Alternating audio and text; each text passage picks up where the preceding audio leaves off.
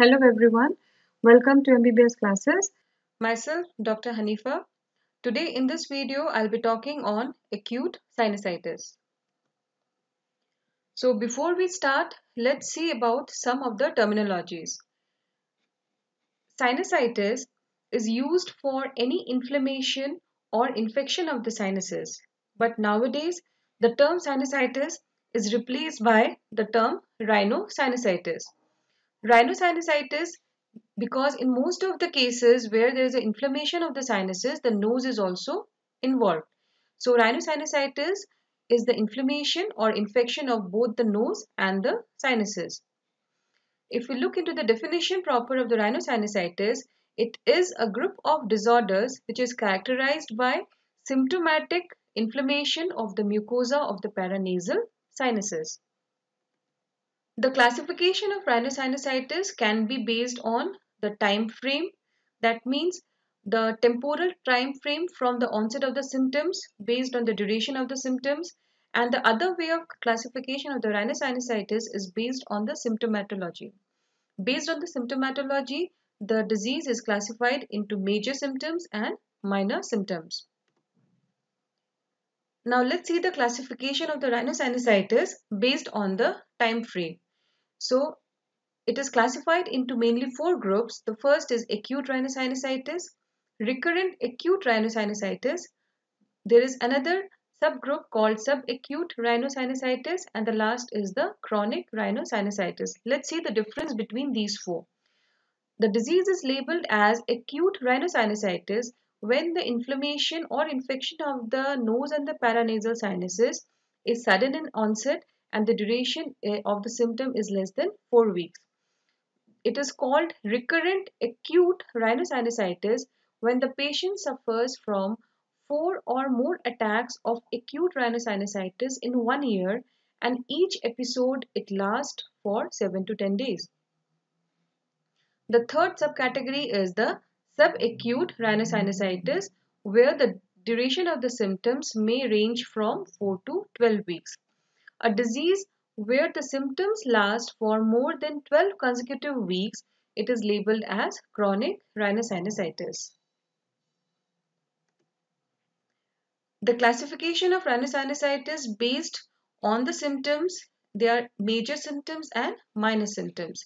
Among the major symptoms are a symptom of facial pain or facial pressure, a sensation of facial condition, fullness, nasal blockage, purulent nasal discharge or posterior purulent discharge that is the postnasal drip, hyposmia, anosmia that means the disorders of the olfaction and when the purulence is identified on the nasal examination and fever is a major symptom only in cases of acute rhinosinusitis. Among the minor symptoms are the symptoms like headache, fever, in non-acute rhinosinusitis, halitosis, fatigue, dental pain, cough, and associated ear symptoms like earache and ear fullness. So, acute rhinosinusitis, in this video, I'll be talking only on the acute rhinosinusitis. Acute rhinosinusitis, it denotes the symptoms when they are sudden in onset and the duration is less than 4 weeks. If we look into the etiology, the cause is always, almost always infectious. The most common, the predisposing uh, in infection is in most of the cases is viral. It can be due to bacterial and bacterial infection is or in majority it is always secondary to the viral infection and it could be in fungal etiology. The fungal etiology we are not discussing in this video because it is discussed in details in video on the fungal rhinosinusitis. You can go through this. Majority of the cases of acute rhinosinusitis, they are self-limiting because it is caused by the viral infection. And the bacterial infections, they occur secondary to the viral infections. Now, what is acute bacterial rhinosinusitis or in short form it is called as ABRS? How it is different from acute rhinosinusitis? So, Definitely the etiology when it is bacterial, we label it as acute bacterial. But how it is labeled as acute bacterial? So acute rhinosinusitis is, is suspected as acute bacterial rhinosinusitis after at least a patient is having 7 to 10 days of symptoms or if the symptoms worsen after 5 to 7 days of onset. So in the beginning, if a patient is coming to you with the symptoms within a period of say about 7 to 10 days, then it is considered as of viral etiology and it is considered to be bacterial only when the symptoms persist for this mentioned period of days. If we look into the microbiology of the acute bacterial rhinosinusitis, the most common bacteria which is responsible in adult is the Streptococcus pneumonia. In children, the microbiology it is a little bit different. These are due to Haemophilus influenza and Moraxella catarrhalis. And now the Staphylococcus aureus, mainly the methicillin resistant Staphylococcus aureus is a big concern nowadays. So we know that the acute rhinosinusitis is the inflammation or infection of the paranasal sinuses and the nose. But there are certain predisposing factors. Let's see one by one. The most important predisposing factor is the viral upper respiratory tract infection. Allergy is also suggested, but still the, it is not proven, but uh, it is considered to play a role in the development of acute rhinosinusitis. Next is the anatomical deformities like septal deformity, immune deficiencies, and the role of environmental factors. If we look into the pathogenesis of the acute rhinosinusitis, remember that the pathophysiology of the acute rhinosinusitis, it is an interplay between the predisposing factors like viral upper respiratory tract infection, it could be allergy or any anatomical variations and the other being the infection and the inflammation in the sinonasal mucosa. So if due to any reason there is an inflammation of the paranasal sinuses, it will lead to infection of the paranasal sinuses. And it is seen that if there is infection of the paranasal sinuses, it will cause inflammation of the mucosa of the sinuses. So basically they are interlinked with each other. To understand the pathogenesis of acute bacterial rhinosinusitis, we must know how the individual predisposing factors they causes the symptoms. The most important being the viral upper respiratory tract infection. So after a attack of viral upper respiratory tract infection, there is seen that there, there occurs the mucosal swelling of the nose and the paranasal sinuses. Because of this, there is an obstruction of the sinus ostium. When there is obstruction of the sinus ostium, definitely the drainage pathway when it is blocked, it is seen that or it predisposes to acute bacterial rhinosinusitis in two ways. First of all, there is a transudation of the fluid in the sinuses and another way when the sinus ostium gets blocked, there is a re reduced oxygen inside the sinuses and as a result of which it is seen that there is a reduction in the mucociliary clearance because of these mucosal thickening then when there is a stasis of the fluid in, inside the sinus moreover on the top of that the fluid is not able to get cleared because of the defect in the mucociliary clearance and it promotes bacterial infection. The other way by which the viral upper respiratory tract infection can promote bacterial infection is that it is seen that after the viral infection the mucus becomes more viscous thick as a result of the change in the consistency of the mucus, there is again reduced mucociliary transport which leads to obstructive sinuses and it leads to the predisposes to the development of secondary bacterial infection. The role of allergy in acute bacterial rhinosinusitis it is suggested but it is not proven till now. It is seen that uh, if there is any allergic reaction there will be antigen antibody reaction this leads to the release of inflammatory mediators. And as a result of the these inflammatory mediators, there is a change in the permeability of the vasculature. There is the destabilization of the lysosomal membrane. So all this results in the inflammatory changes which ultimately causes ostial blockage and because of the ostium blockage, it predisposes to the development of acute bacterial rhinosinusitis. Now, how to diagnose acute rhinosinusitis? The most important is the history taking of a patient, the, the type of symptoms, whether the symptoms are major or minor, and the duration, it matters. Next is after a proper history taking, the next, next examination which helps to diagnose is the nasal endoscopic examination. It is done to assess the middle meatus and especially the sphenoethmoidal recess. Moreover, in cases of severe disease, when there is a purulent discharge, if it can be seen, then this purulent discharge is taken for the culture and sensitivity testing. Radio imaging modalities, they also help in the uh, diagnosis and in this case, the CT scan of the paranasal sinuses is preferred.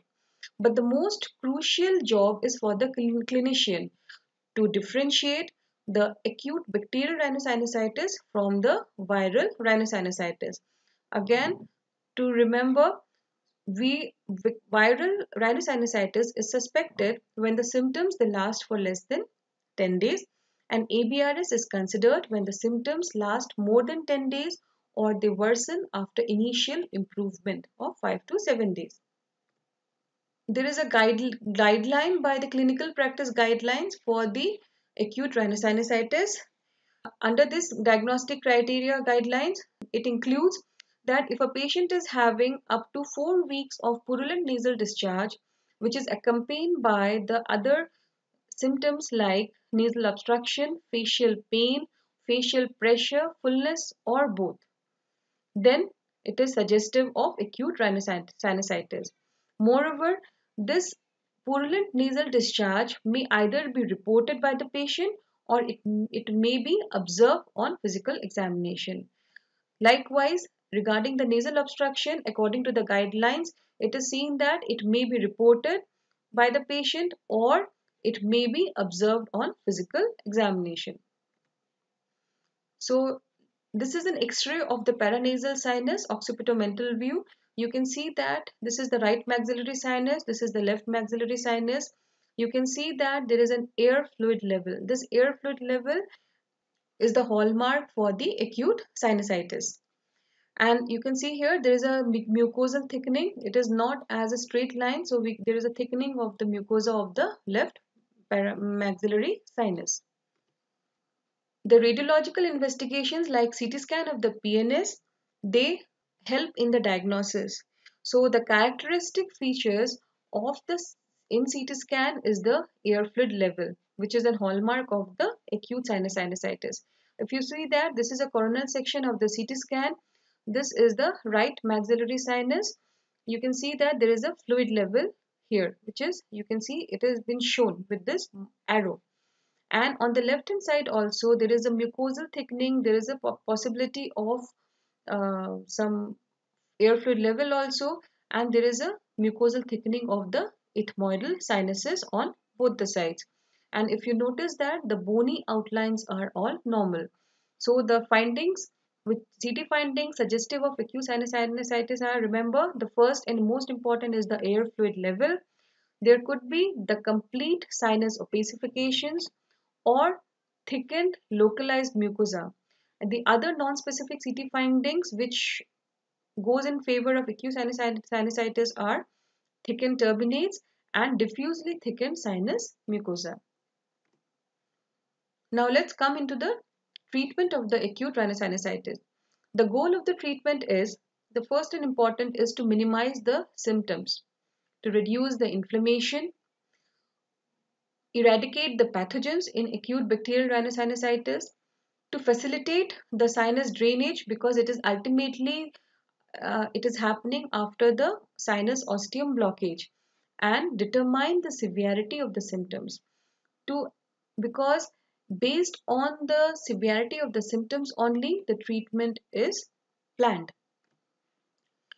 Now let's see the recommended therapy in acute rhinosinusitis based on the severity According to the severity, the patients are divided into three groups, mild, moderate and severe.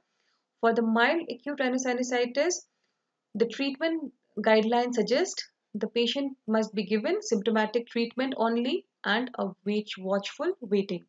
Under the symptomatic treatment, it includes prescribing the analgesics, antipyretics, decongestants, nasal irrigation to clean the nasal uh, secretions inside the nose and last is the steam inhalation. If a patient falls into the category of moderate acute rhinosinusitis, the treatment is the symptomatic treatment as prescribed for the mild ARS group. Then if the symptoms persist for 5 days, then add intranasal steroids. Consider adding the antibiotic after 5 to 14 days and if the patient are not getting okay after 14 days, then reconsider your diagnosis and do a repeat nasal endoscopy. In a case of severe acute rhinosinusitis, the recommended therapy is using intranasal steroid, antibiotics. Oral corticosteroids are prescribed to reduce the pain in the severe disease and remember if there is no improvement in 48 hours, consider your diagnosis, consider nasal endoscopy, plan for the radiological investigations like CT scan. And sometimes in very severe cases, sometimes we need to give intravenous antibiotics also. And if a patient is having comorbid allergic rhinitis, then you can add oral antihistaminic also. With this, I come to an end of this video. Thank you for watching the video.